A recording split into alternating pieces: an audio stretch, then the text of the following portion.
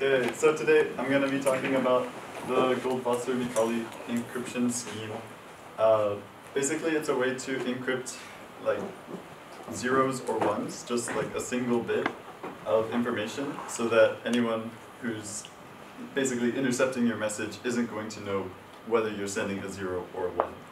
And yeah, it's cool because it's probabilistic, which means you can encrypt something with the same secret key and get a different output every time you go. So like one time you encrypt it, it might be the number 63, and then the next time you encrypt it, it like the same exact message, you're encrypting a 1 both times, and then it will give you the number 54. And so that basically prevents people from making a, like a, just taking note of everything you send if they're somehow able to see it, and then like going back and looking at that later to try to understand what the new message is that you're sending. So it's something that's very useful for encryption. Uh, one piece of information you need to know before we go into like the meat of what we're talking about is something called like a mod. So basically if you're taking a number, it's an operation, you can do 34 mod 10 and that will give you 4. Um, 25 mod 10, that gives you 5. So if you see there's like a pattern, basically if you do something mod 10, you're just taking the last digit. So if you do 1,333 mod 10, you're still just taking the last digit, which is 3.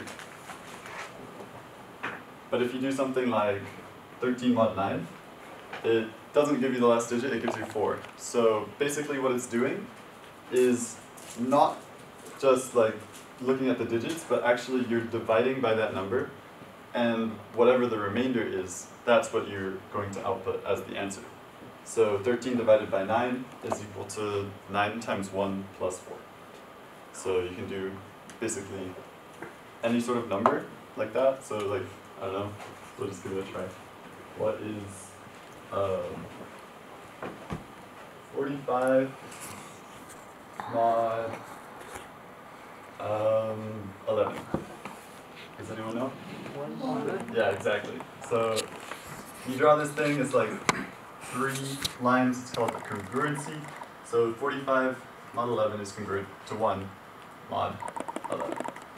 Yeah. So that stuff is not too hard, but it's going to be really important later on. Um, the other thing we're going to talk about is something called a quadratic residue. So basically, yeah, what you do is you have a number squared it's congruent to something within a modulus. So, you know, that's not too hard to understand. And what we call Q is a quadratic residue. That's just the name that we call it. And we can take a look, for example, at mod 20. So these are all the numbers from 0 to 19. You can see that basically any number in the integers is going to be congruent to one of these numbers, 0 to the number 19, mod 20 is when you divide by 20, basically the rule is that you're going to have some like some remainder that is less than 20. So you've got 0 to 19. And what you can do is square each one, and that will give you some sort of answer. And as you can see, these things repeat. So you don't have the same, like basically you don't get the same number as you had before when you square it but you do get some of these same numbers that reoccur. So only certain numbers within mod 20 are actually quadratic residues. These numbers that are colored are the ones that have square roots. Can you give an example with mod 8, for example? Yeah. So if you go 0, 1, let's actually change that.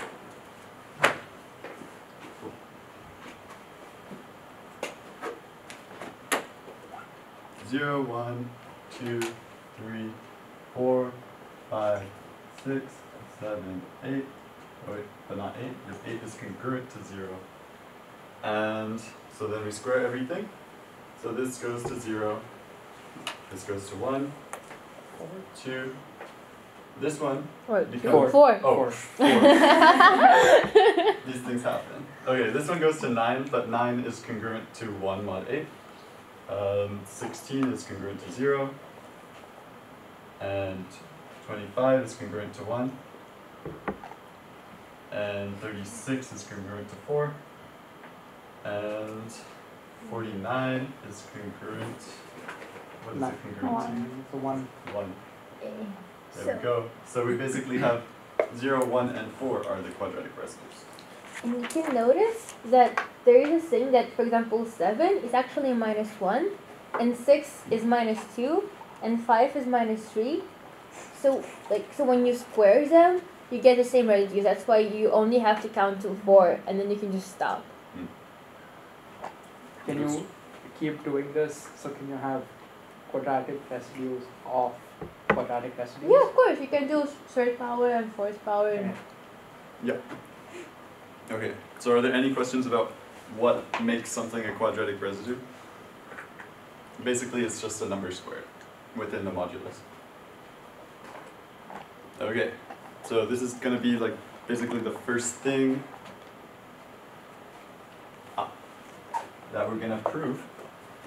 So basically, we have p is an odd prime, and we're gonna say that every quadratic